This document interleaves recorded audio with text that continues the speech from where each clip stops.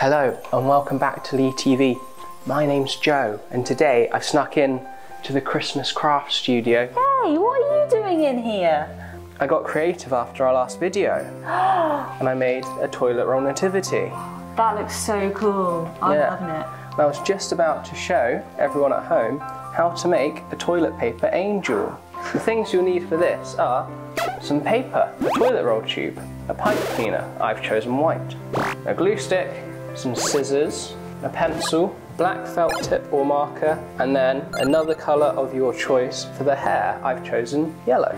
Wonderful. Wonderful. Wonderful. So, first of all, you take your toilet roll Cool. and on your bit of paper, you put it along the side about three quarters of the way up so that you've got room for the head.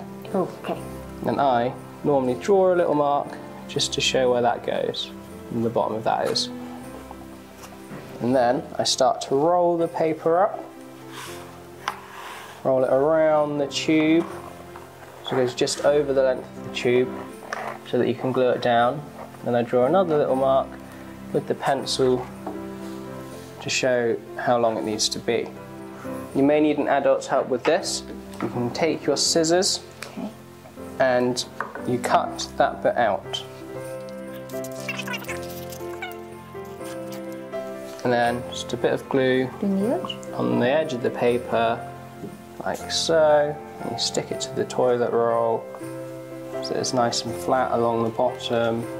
And then when you get to this bit, you should have a bit that overhangs, and you just put glue on that end and stick it on top. Something a bit like this. Next, what I like to do is I like to take my black marker or another colour if you choose to draw your face. So I do it on the opposite side to where the join is. So I'll do it on this side and I just draw two eyes and a big smiley mouth like so. Now with the hair, it always tends to go, you always need to go bigger because you could go too small. It took me a long time to get that hair right. So just cut out a bit of extra paper. The brilliant thing about this is you can do it all out of one sheet and then you can draw your preferred hairstyle but making sure there's a gap so that your face can slit in in the middle. You can do any style you like. I'm going with your classic, kind of like a bob, call it a bob. It is a bob. I think it's a bob. Bob. It's your choice which way around you do it. I think we should colour ours in first. Okay. As I said, I'm going with a blonde, Sarah's, I'm going with brown. Sarah's going with a brown. So, we've now coloured that in. Uh, try and cut it out around the lines. Now, this might be hard, but you have some patience, you can give it a go.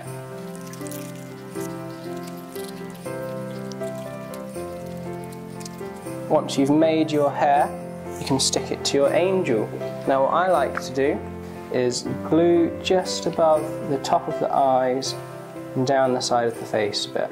then it may look something like this. I think my first attempt was a lot better than this attempt. Next up, take your bit of paper that you have left over and then fold it so you have two equal bits that you can turn into your wings. I took my toilet roll just so I can get the size, and then just a bit up from the bottom, drew the bottom at the top, and then I just made half a heart shape using my pencil. Amazing. And then, using your scissors again, you can get your adult to help you. You just cut that out, making sure you've got both halves of the paper. And then once you've done that, so it should look something like this. Ooh. It should look something like this. I didn't mean to drop that. and every angel needs a halo. oh yes. So you take your pipe cleaner, fold it in half, and get your scissors, and you just cut your pipe cleaner. And so to make your halo, roughly about halfway along that new half of the pipe cleaner, I put my finger, and I just take the other bit, make it into a loop, and then give it a twist. Yeah, and then you just fold the halo down so that it will sit over the top of the angel's head. Put some glue on the back of the halo, and that will sit just inside the wings. Uh, so it sits on on top of the angel's head. And there you have it a toilet paper angel. Oh, I love it.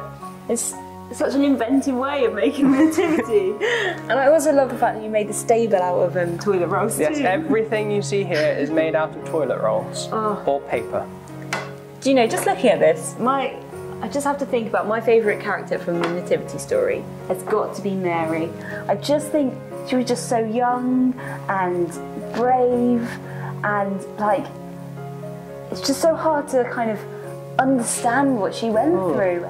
I'm going to go and ask her, see how she felt just after the angel told her that she's going to have a baby. Okay. Hmm. Whoa, you're Mary and you're Joseph. Have you been told that you're going to be Jesus' mother yet?